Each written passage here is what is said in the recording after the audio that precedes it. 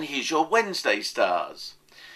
Um, nice aspect, Moon to Saturn. This is about you building yourself up and doing a lot of serious things, and that's what today is good for.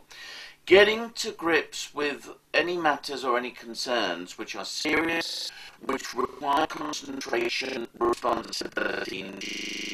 Now, normally this, uh, well, just be a fact, for you just it. And if you can bring one along um, even better, and you have to be a professional who is also from the new it, don't be afraid to get that right.